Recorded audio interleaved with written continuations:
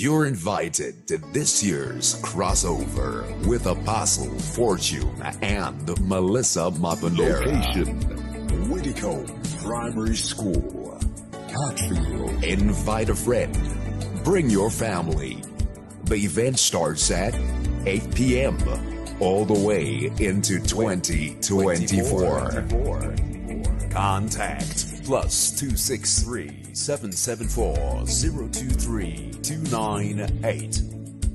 This is a night you will not forget. This, is your new year. This is your new start. Don't miss it for any anything. Come experience the Word of God, grace, miracles, signs, wonders, deliverance, and, much, much, much more. But it's very important. Did you know that the children of Israel spent over 40 years and yet they were just a couple of kilometers away from their promise? Eh, Which tells us a very important clue. Sometimes God will process you before He sends you through the process. Let me explain that. God will process you before He sends you through the process. What that means is the process of crossing with God is not a big thing. It's the process of creating a nation that is more important. And I said to you the other time, God calls a man, He turns that man into a family, and like what He has done with us, He turns us into a nation. Hallelujah. And so it's very important for you to understand that when God is processing you, it's more valuable to you. You see, the man who was lying there for 38 years, he was in process, but the process of being healed to God was like this. But what did he learn from a 38 year process? The process then tells him that there's one who can take care of all illness and sickness. There's one who should be worshipped, and his name is Jesus. And so it's 38 years of education. Hallelujah. I don't know if anyone can hear what God is saying to them right now and today.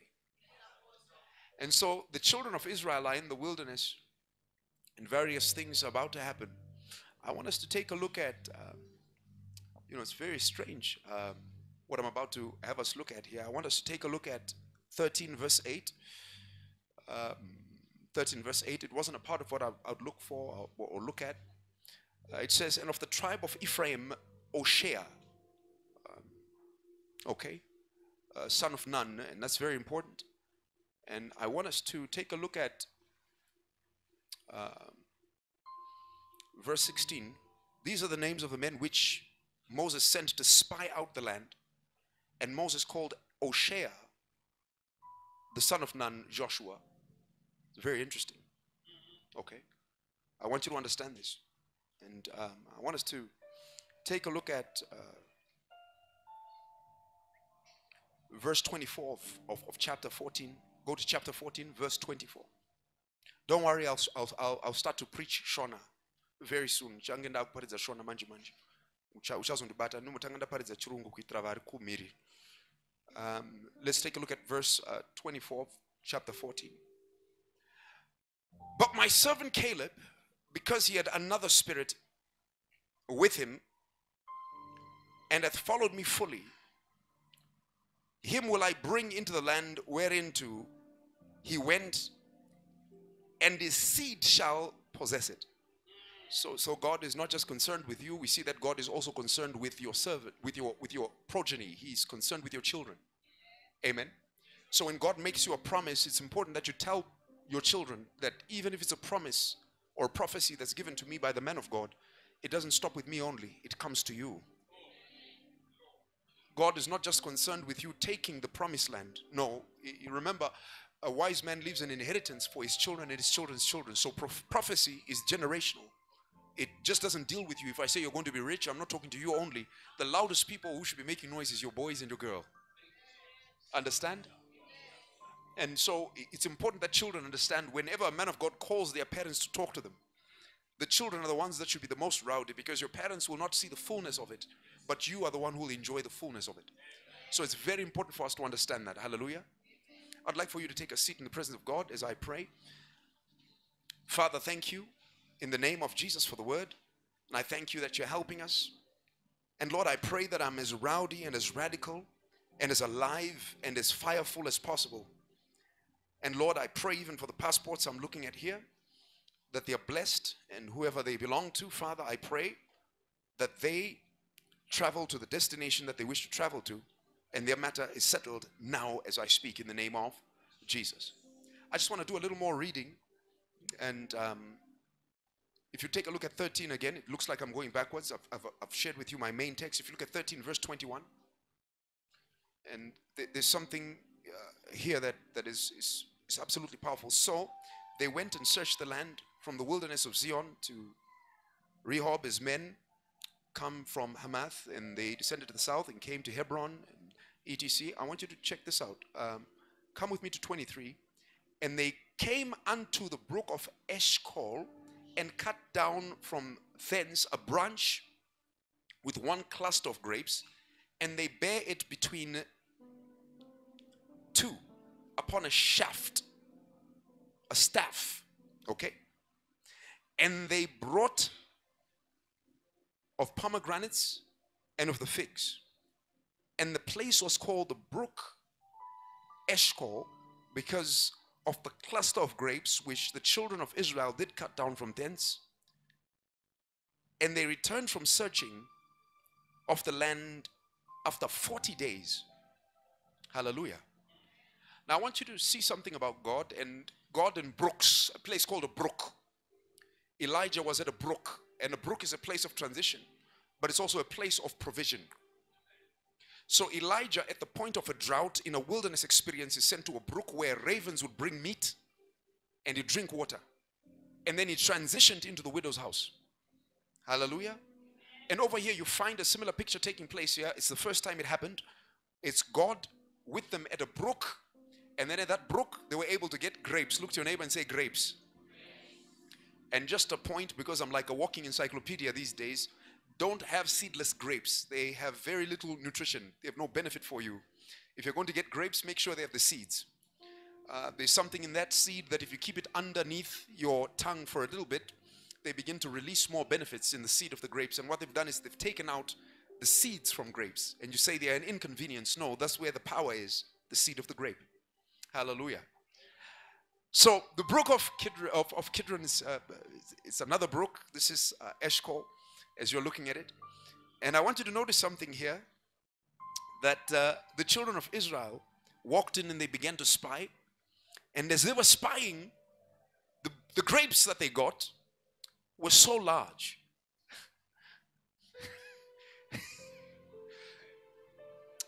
if you carry a cluster of grapes, you carry it in one hand. The grapes that they carried were so large, they needed a staff, a shaft between two people and they would hang the things between and then carry the pomegranates and the figs and the grapes right in there. I think God is about to send someone into a land that is so full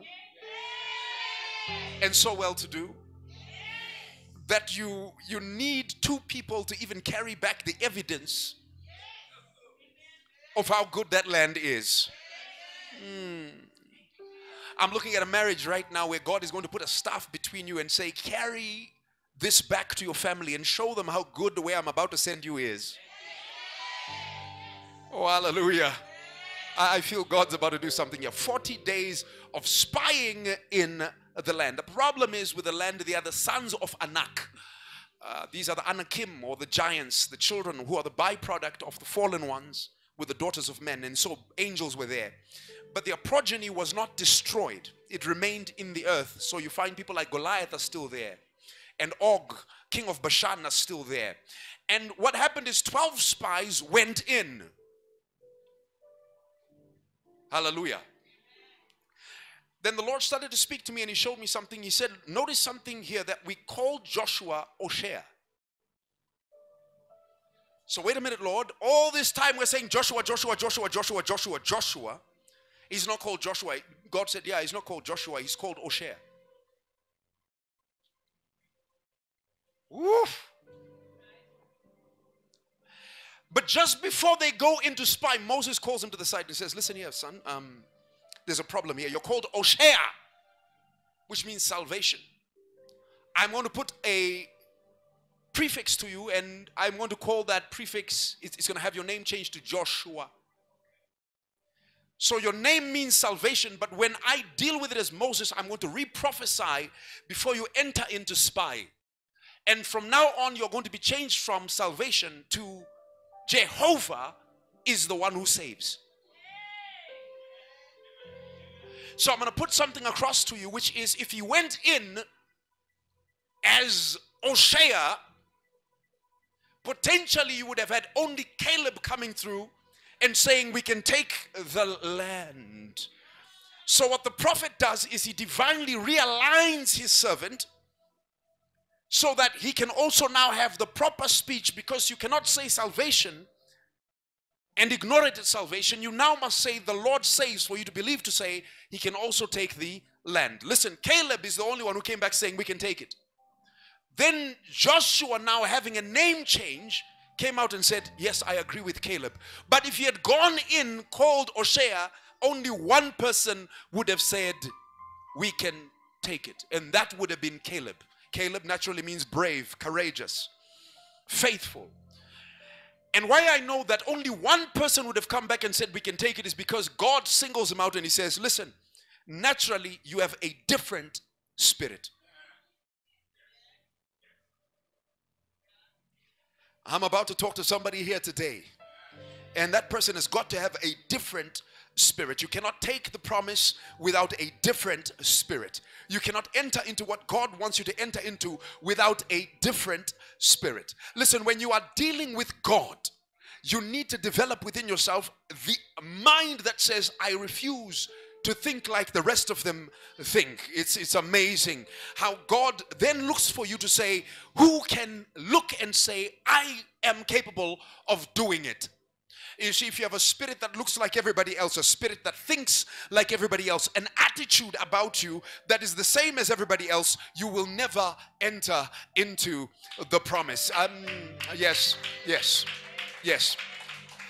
Three weeks ago, Sister Kay stood up here and she said she called the landlord and said, Listen here, landlord, your rent is a bit too much.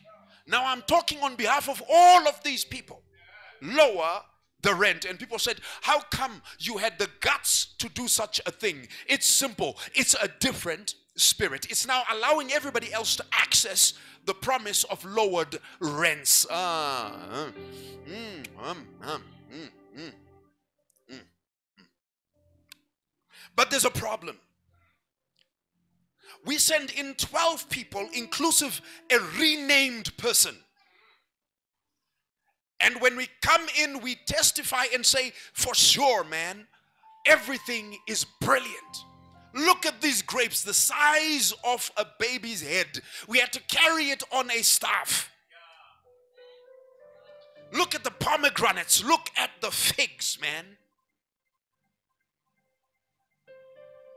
But somewhere in there, you forgot that it's God who let you in and you moved around for 40 days and 40 nights and nobody saw you moving. And you harvested and you carried things and nobody saw you moving. Now, there's an interesting name here. And it turns out, from my looking into this, each person who went into spy had something hidden in their name. Because one of the gentlemen here, his name means secrecy or secret. And so, by naming, Moses was able to change the outcome for Joshua. Listen, when a prophet calls you around and he tells you, I'm changing your name, he's about to change your circumstances. When a prophet says they will no longer call you this, they will call you that, he's about to change your circumstances. So when you take a look at verse 14, Nabi, for example, it caught me because it's it sounds like Nabi as a seer, but in actual fact, this Nabi is secret, what is done in secret, or that is what is invisible. Are you understanding what God is saying to you? So each person, you've got Caleb for bravery.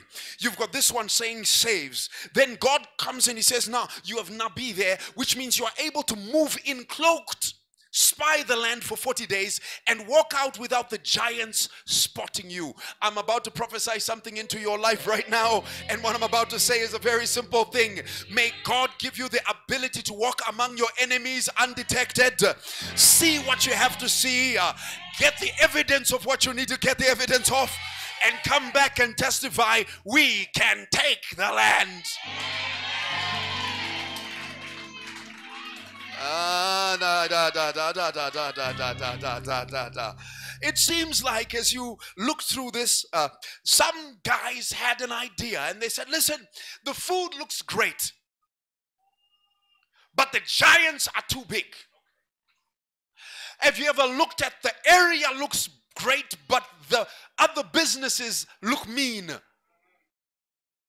Oh, Jesus. I need to talk to somebody who's alive. I'm trying to talk to somebody who feels. Have you ever looked at, oh Lord, the architect has built, has drawn nice plans, but the, the, the budget looks too big? Come on, young single men. Have you ever looked at a woman, not because she was a big woman, but she just is so beautiful, she looks like a giant? How can I even approach? Come on, somebody. Hello, somebody. But that's your promised land. You're potentially looking at your wife. I'm going to show you how to get into that promised land. Hallelujah. Have you ever looked at a shop and thought the rent must be crazy? I can't afford it. Look at the people, the cars that they park out. I don't even have a car. It looks too big. The giants here are too big. But I've come with a word from the Most High God. And the word I bring is this uh, you can take the land.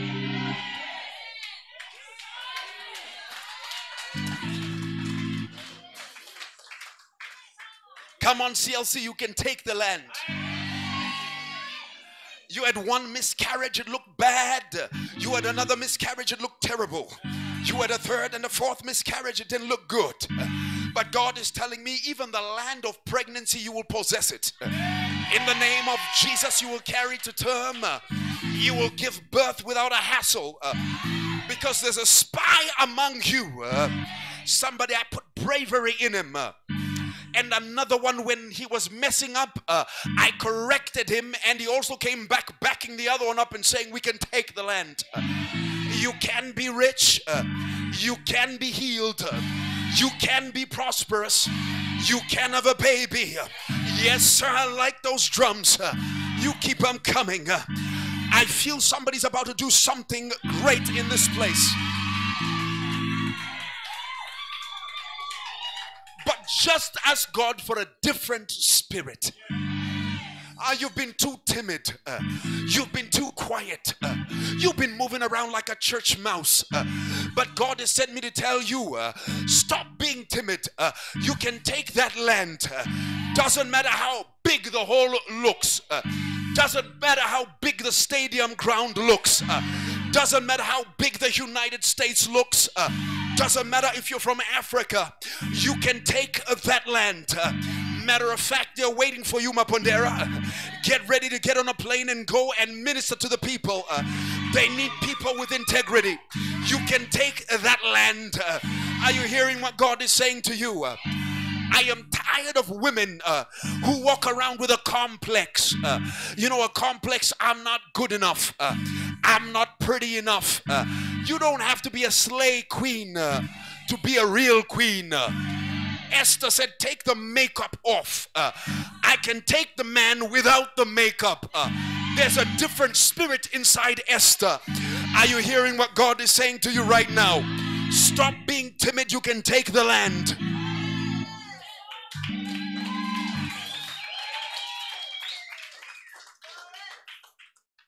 Oh my God.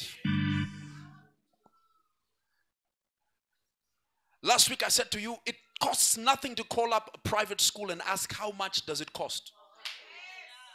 All it takes is your bravery. You see, a dollar worth of airtime to invest in an inquiry can open the gateway to the change of your child's future. But because you don't even have faith to call, listen, it's free to inquire. There's no charge to inquire. The problem is your faith.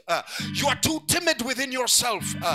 I'm telling you, somebody in here is walking out uh, with a different kind of spirit.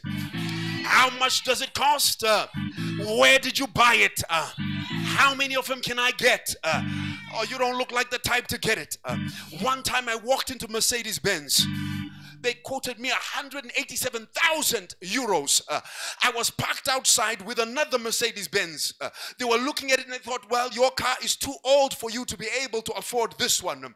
I turned around and I said, listen to me, man. This is a bunch of metal, it's a bunch of rubber and plastic and silicone and glass, which is still melted sand. I can take your land. Are you understanding when you when you're of a different spirit? You don't see things the way they see things. You see things the way God shows you to see things. Are you hearing what God is saying to you today? I feel like preaching. if somebody's ready for the word of God, let's get the word of God. Listen, I'm in a place where now I'm looking and I'm seeing these men. They move in 40 days and 40 nights. It's amazing how they are like a precursor to the resurrected Christ. Now, let me bring this in for you nicely. They are showing you that Jesus is going to come in uh, and move after the resurrection and spy what the Bible says the meek shall inherit the earth. Uh, the Bible says Jesus walked for 40 days and 40 nights after he was raised from the dead. And at at his departure, two witnesses were left. And they spoke and they said, uh, The same Jesus that you're looking at, the same manner that he went, is the same manner that he will return. Is it a Caleb? Is it a Joshua type angel? I have no idea. But all I know is this Jesus left me with a different spirit. Uh, you call him the Holy Ghost. Uh, I call him my best friend. Uh, you call him the Holy Ghost. Uh, I call him my master. You call him the Holy Spirit. Uh, I call him my best friend. Uh, you call him the Holy Spirit. Uh, I call him the chief executive officer. You call him the Holy Ghost. Uh, I call him buddy or pal. Uh, you call him the Holy Ghost. Uh, I call him captain, my captain or captain. You call him the Holy Ghost. I call him all power. And God made sure that the different spirit was on me. I don't have a spirit that is a spirit of the world. Rather, I have a spirit who comes from God, whereby I cry, Abba, Father. Are you hearing what God is saying to you today? Uh, this is where the pain is. Uh, you carry the heaviness of the word of God, the kabod on your shoulder. Uh, in other words, uh, there's one person, please join me, Pastor. I love your kicks. Uh, just join me and stand right in front of me and look towards the keyboardist.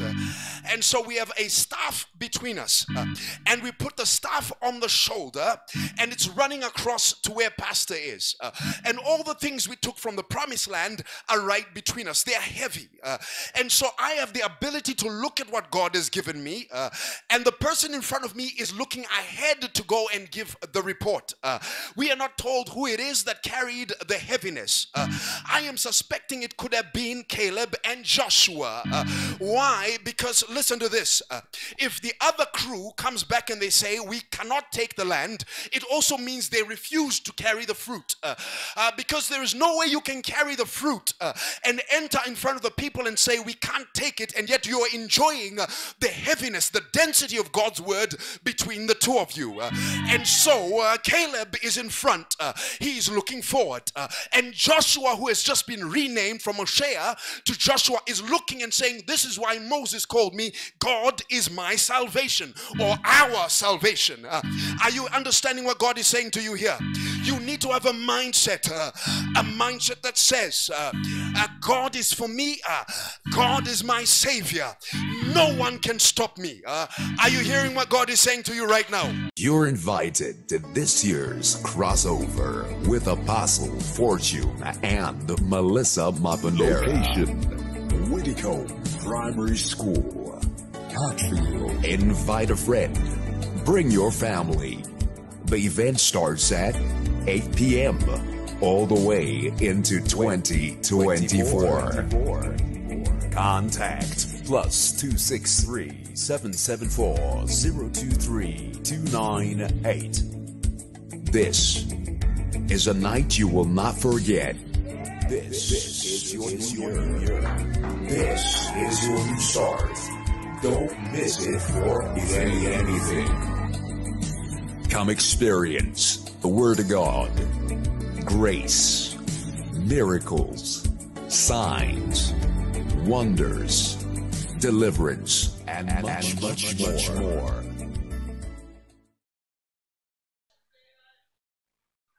What you're failing to recognize is this my size as a grasshopper has nothing to do with my ability.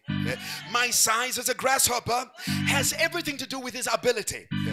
So, as a grasshopper, if I can eat giant sized food, it means I was being fed to deal with the giant. Uh, you see, you cannot expect for giant sized blessings uh, and not fight a giant or two. Uh, I'm wondering a very big question. So all the time Joshua was at the foot of the mountain, the children of Israel were making sacrifices. He was called Oshea.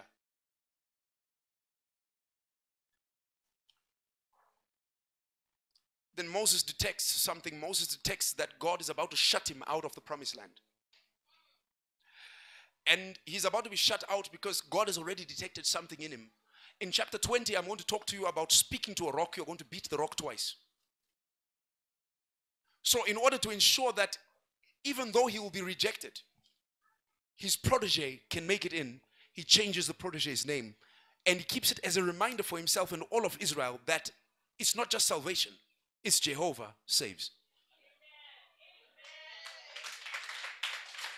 Uh,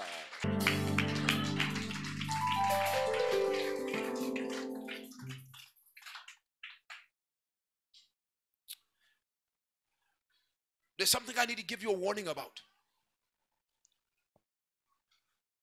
Did you know that deliverance from Egypt came at the price of 10 miracles? Am I correct? It's 10 what? Miracles. Watch the mathematics. I'm not good at it, but watch me watch me move. Watch me move. My wife will start to laugh if I say that. Watch me move. Are you ready? 10 miracles to come out of Egypt. 10 spies got it wrong. But if you know your Bible very well, you will also discover that the reason why it took them 40 years to enter into the promised land, they are what are called the 10 temptations that Israel returned to God for his 10 miracles.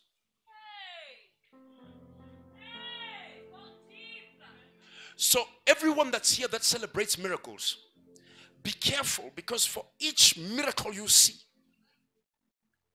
be careful not to be tricked to tempt God in a particular way.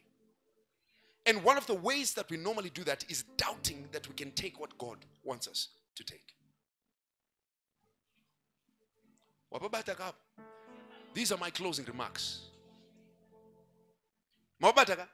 10 miracles, 10 faulty spies, and then 10 temptations that yielded a 40 year sojourn in the wilderness.